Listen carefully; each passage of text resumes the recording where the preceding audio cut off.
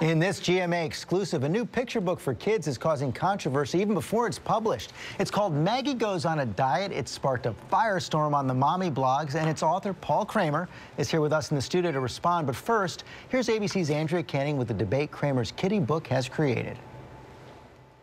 On the cover of the new book, Maggie Goes on a Diet, Maggie is seen dreaming of a thinner self. The 14 year old character is bullied relentlessly. Maggie was teased and made fun of just about every day at school. She was called fatty and chubby and other names that were very cruel. Searching the refrigerator in hopes she would feel better, eating lots of bread and cheeses, including some cheddar. But after losing a lot of weight by eating healthier foods like oatmeal and fruits and exercising more, Maggie instantly makes new friends and even transforms into a star soccer player. Maggie looked forward to her Saturday morning game. More and more people were beginning to know Maggie by name. Playing soccer gave Maggie popularity and fame.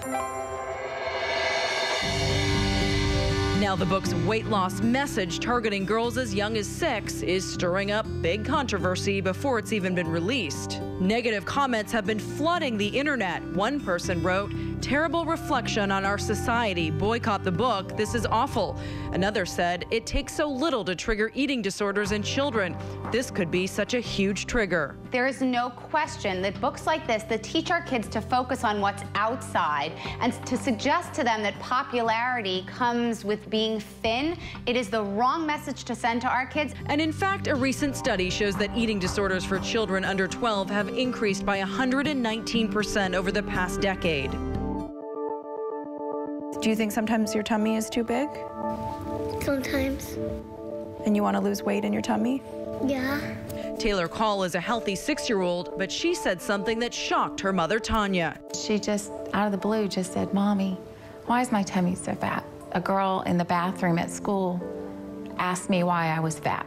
I don't like to be like my way, and I my teacher always tells me that I have to run so I can be really really not like this size. Her pediatrician says her weight is completely normal, but at this age, perception can sometimes override reality. When kids laugh or giggle at someone who they think is chubby, it's a wake up call to all of us to start changing how we describe people and to change the way we, we treat people who may not look the way we do.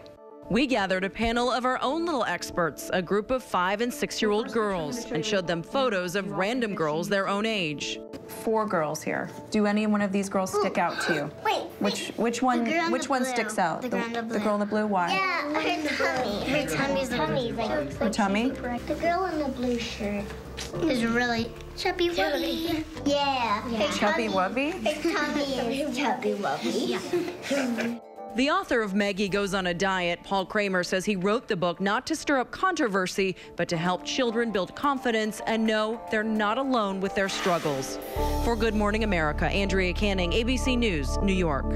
And Paul Kramer joins us now for an exclusive interview. Thanks for coming in. My pleasure. This morning. Now, you look like such a mellow guy, and you're stirring up all this hostility. Surprised by it?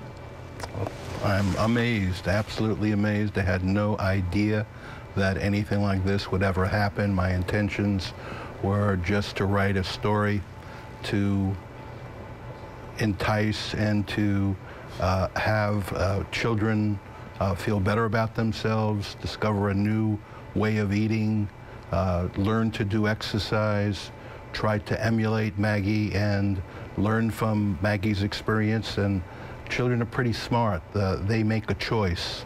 And uh, they will make a good choice if you allow them that opportunity. If you push them and tell them that they can't do something, they'll probably go and do the opposite. And all those messages are sent in the book. I, I read it last night, but I think what, what, what set a lot of people off is this whole idea of a diet in that cover. Maggie goes on a diet. We got some qu questions came in on Facebook. Friend Belcher Compton said one should not be on a diet, especially a four-year-old. We all should have a healthy diet. And Dewey Gallagher Wilson then followed saying, why not call it Maggie Eats Healthy? Well, that is that is ab- absolutely a good question. Uh, if I entitled the book Ma- uh, "Maggie Eats Healthy," uh, somebody in a bookstore looking at uh, a title "Maggie Gets Healthy" is really not going to identify with somebody who, who has been overweight or who has health problems or who can't bend, play sports because they're just, But just kids too shouldn't be thinking about a diet, and, and this is what's, what strikes me. Is, as I said, I, I looked at the book, and it's not really about a diet. It's No, about a no. girl learning to eat healthy. And, you know, having oatmeal at It's- it's breakfast just and turkey change- sandwich at lunch. It's about changing her habits. Yet that that word sends all the wrong messages. I, again, I, I, I do understand that. Uh, if we say, what is, what does your daily diet consist of? If we use those words, what would you say that that means to you? To me, it means what is, what is it what you eat each day? What is your food that you normally eat each day? And we use that as what is your daily diet? So diet is kind of a misconstrued word. Uh, and it has many, many meanings. I think the other thing that, that, that struck me uh, reading the book is, um, you know, you show a girl who's taken responsibility for herself. She's very well motivated.